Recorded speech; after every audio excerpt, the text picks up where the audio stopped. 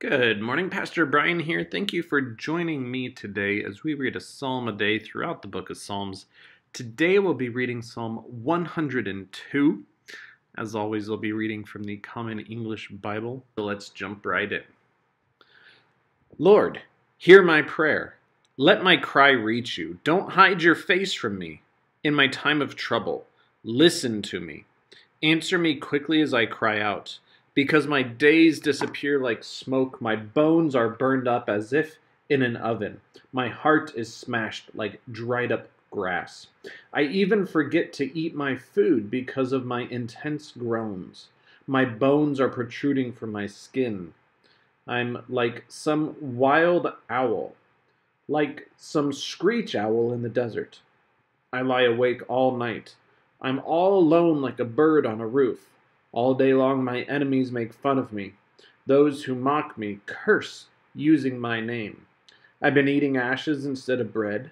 I've been mixing tears into my drinks because of your anger and wrath, because you picked me up and threw me away. My days are like a shadow, soon gone. I'm dried up like the dead grass. But you, Lord, rule forever. Your fame lasts from one generation to the next. You will stand up. You'll have compassion in Zion because it is time to have mercy on her. The time set for that has now come. Your servants cherish Zion's stones. They show mercy even to her dirt. The nations will honor the Lord's name. All the earth's rulers will honor your glory, because the Lord will rebuild Zion. He will be seen there in his glory. God will turn to the prayer of the impoverished. He won't despise their prayers. Let this be written down for the next generation, so that people not yet created will praise the Lord. The Lord looked down from his holy summit, surveyed the earth from heaven, to hear the prisoners' groans, to set free those condemned to death, that the Lord's name may be declared in Zion, and his praise declared in Jerusalem, when all people are gathered together, all kingdoms, to serve the Lord. God broke my strength in mid stride cutting my days short. I said, My God, don't take me away in the prime of life. Your years go on from one generation to the next. You laid the earth's foundations long ago. The skies are your handiwork. These things will pass away, but you will last. All of these things will wear out like clothing. You change them like clothes, and they pass on. But you are the one. Your years never end.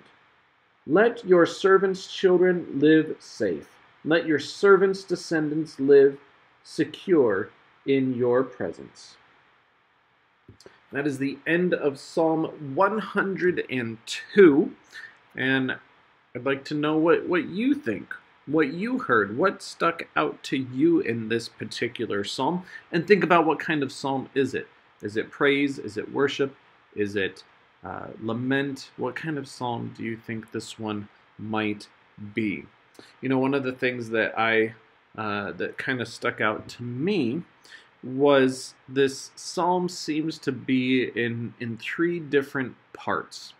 The first part is the psalmist's lament for what is going on in his life and just how uh, you know again that idea of being mocked of being ridiculed of being chased by enemies and you know his use of bird imagery just kind of reminded me from uh, i believe it's a scene from dumbo when the crows are laughing uh, from i believe the the fence line or from the the wire lines the power lines the telephone lines and that just that stuck into my brain as soon as I read that when I was reading it with you just now.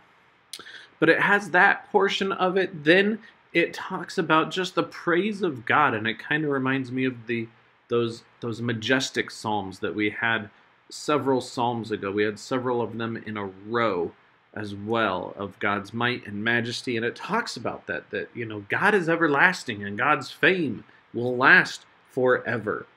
And then the the final part to me seems then to to focus on the future, the future of Zion, of of Israel, of God's chosen people, and how God will rebuild, God will claim, God has the power to, to bless and to love the descendants, as it talks about in the, uh, I believe, the very end in verse uh, 28. It says your servants' children, uh, but descendants works as well.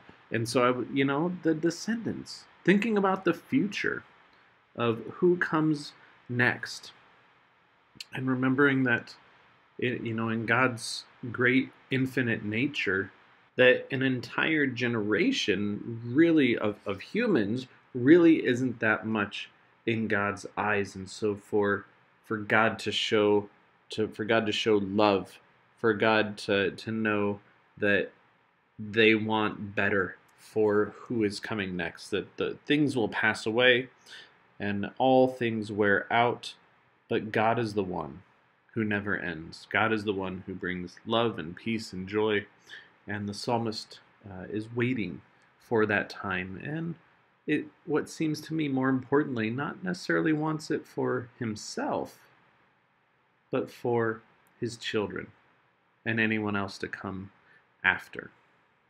And i think that's something we can all relate to in, in wanting the best for our, our kids and our grandkids and, and the generations to come. And how are the ways that we achieve that?